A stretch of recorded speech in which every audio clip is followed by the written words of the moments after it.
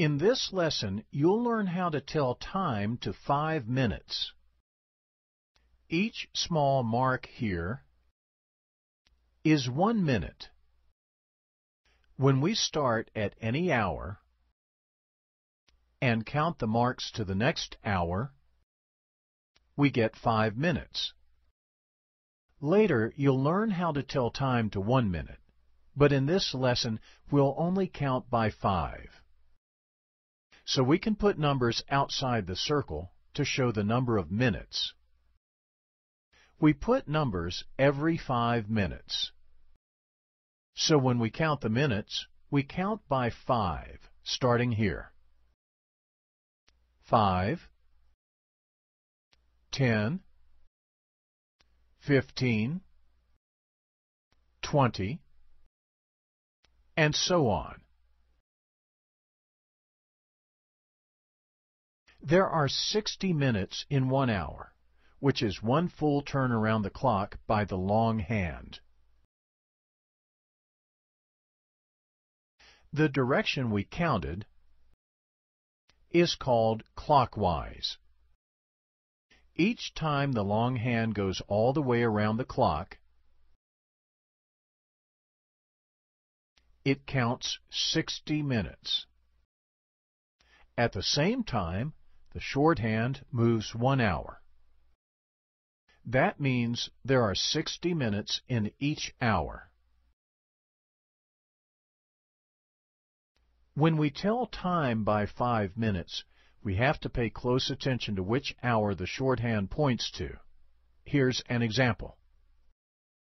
The shorthand points to 3, and the longhand points to 12.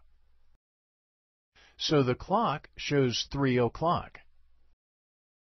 Now let's move the hands. The long hand now points to 55. So it's almost to 60. The short hand has moved away from 3, but it still hasn't made it to 4. That means the hour is still 3. And the minutes are 55. So the time is 3.55. Here's another one, but this time we've taken the minute numbers away except for 30. The shorthand is between 9 and 10. So we know the hour is 9. We start writing the time by putting 9 here. Now we need to know how many minutes after 9 this shows. We start counting by 5 for the minutes. 5, 10, 15, 20, 25. The long hand is at 25 minutes. So we put 25 as the minutes here. Another example. The hour is 5. Here's something to remember. When you count by 5, you don't always have to start counting at 5. Here's why. You know that the number of minutes here will always be 30. So if the long hand is on this side, you can start counting at 30 here. So we put 5 as the hour here. And we put two dots after it. To find the minutes, we start counting at 30, which is here. Next is 35.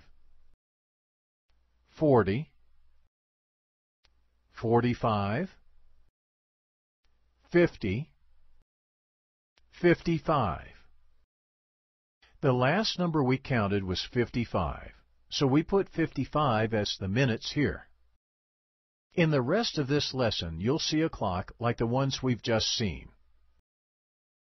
In the rest of this lesson, you'll read a clock like this and enter the time it shows.